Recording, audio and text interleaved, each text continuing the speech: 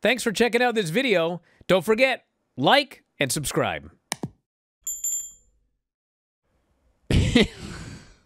Okay, the next, I don't know, 45 minutes, the last 45 minutes of this show was, I don't know, what the fuck? Throw some crap against the wall, see what happens. Well, I'll tell you because it was the grizzled young vets, Rush, the Beast Mortos, and Roderick Strong. I need to start over again. Everyone, this is a 10 man tag, so listen carefully. Team one is the grizzled young vets, Rush, Beast Mortos, and Roderick Strong against Hook, FTR, and the Outrunners. I was excited just because of the people involved. Sure. But there was one problem, and that is that I don't know what happened, but this match started with like 35 minutes of television time left. Mm-hmm. And granted, they had a Nigel promo at the end and a Serena promo, but this match must have went like 25 minutes. And This so, went through three commercial breaks. was it three? I was- counted four. I, I wrote down three. It's possible I missed one. Okay. I mean, it went through one commercial break after another, and it was just. I mean, it's 25 minutes long, so it's like they'd spend five minutes getting heat on Dax, then they'd get five minutes getting heat on Hook, then they'd get five minutes getting heat on Tur. It's like there was so much heat, and the crowd died every time there was heat. They just wanted to see all these 10 guys doing crazy shit. And so at the end, after the fourth, third or fourth commercial break, whichever the hell one it was, then we finally got like everybody getting in, and uh, I think two guys, I think Hook and Roddy brawled to the back, so there was only you know eight guys left. So they all brawled into a bunch of crazy shit, and Rush and Mortos and Dax, those three, total standouts in this match. They were awesome. And then uh, Rush pinned Dax. Rush came back out of oblivion and got the win in this 10 man tag pinning Dax. So that was a good thing for him. And the only other thing I got to mention is arguably the most overact again in this match was the Outrunners. Yes. And uh, it was uh, Turbo Floyd got the hot tag, and he ran wild with one body slam after another. Body slam. Next bloke, body slam. Next bloke, body slam. And the people are going nuts for each successive body slam. And then they do the then they do the double The bicep. and- son of a bitch elbow. son of a bitch elbow, and they drop it, and uh, and the place is going nuts. And I just thought again, just push them.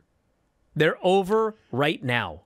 I don't care what you think they'll be down the road. They're over now. And I don't know if you know this or not, but we're living right now. So push these two. If in three weeks they're no longer over, then stop pushing them. But when they're over, push them. When they're over, you're being given something. You know what I mean? You don't have to do any work. You're allowed to be lazy. Like with Je'Von Evans, for example. Like, you're being given this. He's already over. Just go. No, we got to get him over. Well, you failed. Now we got these two guys over. Well, run with it. Outrun with it. Let him get over. Push him. And if something happens and all of a sudden the fans think it's stupid, then you don't got to push him anymore because it's fake. You just beat him and you're done with it. Yeah, the Outrunners last week uh, were super, super over. And this week they got their shine about four minutes into this odyssey of a tag match. And they were non existent during the, the finish, and their team lost. Well, yes, but they did get that hot tag spot, which was the hottest part of the entire match. And a key point here, because you It was in this, the middle, though. That's it was in the middle of a, of, of a 45 minute match, whatever it was. but you mentioned, Bryan, last week, will they get pushed outside the Ohio Valley area? Well, they were in Springfield, Massachusetts. Massachusetts. People love them. They're over. This act is over. The shtick is over. Yes. Everyone loves it. Yes. Go to the moon with him. So the match continues. It continues. Can you imagine? it continues to continue. Can you imagine if if Bruno Sammartino came back from the grave And we had the opportunity to interview him on Wrestling Observer Radio. And my first thought was, I got to think of something to make this show interesting. I need to come up with some really whack. Like, it's going to be great. I was trying to think of another example of like somebody, you know, that you could have on a show that you just already know the show's going to be good. You don't have to fucking do anything. Just like let it be good. Just same thing you had to do with the Outrunners. Just let them be over. God. Team them up with Je'Von. And win the six man titles. Fuck. Anyway, it's a good match. So the key team at the end here is a heel team. It's Beast, Mortos, and a partner. And if you're listening to the show, you're thinking, well, probably Beast, Mortos, and Roderick Strong again. No!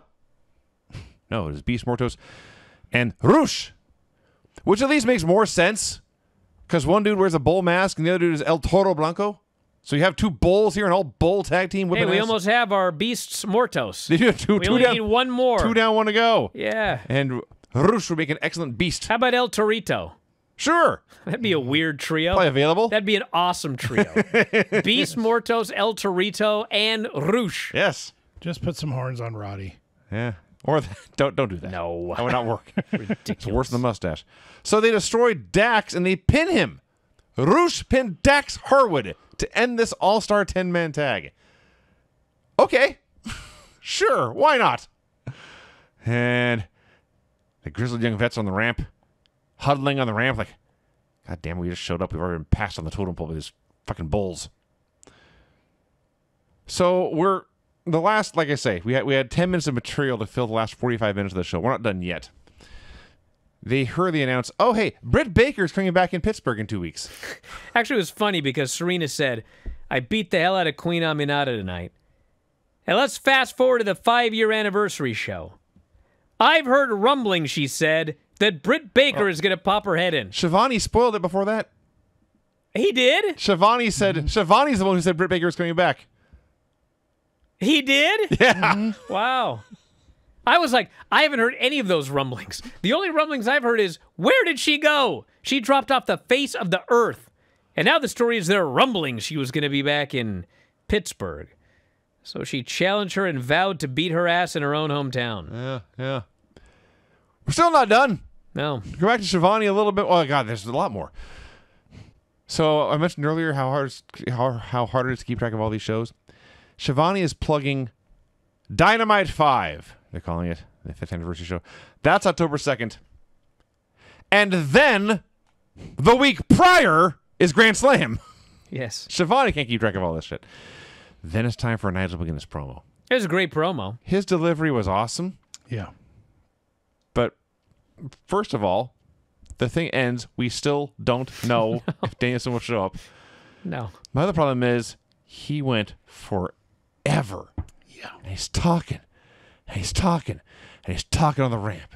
And he's talking to Schiavone. Well, you know what's funny about He's this? talking Benny? to the camera. You know what's funny about all this talking? I think he had to talk for a long time because they had like six minutes left he had to fill. So he's talking and he's talking and he's talking and he's talking. And at some point he's talking and you see him kind of glance down because you can see someone's giving him the sign. But now he's got too much left to say. And so my recording cut out before the end. He went overtime after all that. He had nothing new to say. The crowd was saying, shut the fuck up. They were sick of him. And uh, the go home show ends the announcement that Nigel McGuinness will wrestle Bryan Danielson if Bryan Danielson is cleared to wrestle. Yes. What a strange period we were in here for all elite wrestling. Well, like I said, it's like, yeah, you know, sometimes things work, and that's that's all well and good, but you got to look at like the circumstances. They, they ain't selling tickets, so mm-hmm. announce the match. That's it. But they have actually. We got an update here. Let's see. What? What? What's today? The twenty second. All day. All right. Uh, as of as of the 22nd, they're at uh, 5,500 now. 5,500. And uh, last year it was 11,263. So they're still not even halfway to what they were last year. And uh, tickets are as low as $25. And their other 300 level seats that are available between $37 and $55. So it's not the economy. It's not the ticket prices are too expensive. At this point, over half of the human beings that went to this show in this building last year are not going this year. So that to me tells me you need to tell people the match is going to take place. Stop assuming they know, just announce it. You may still not sell any tickets, but god damn it, you like I'll try. At least try. So anyway, we'll see how it does. But yes, it's Dynamite and Collision, Vinny. Taping both shows. I see. Yes. Thank you for watching. Make sure you subscribe to the channel and click that notify button, and you'll never miss a video again.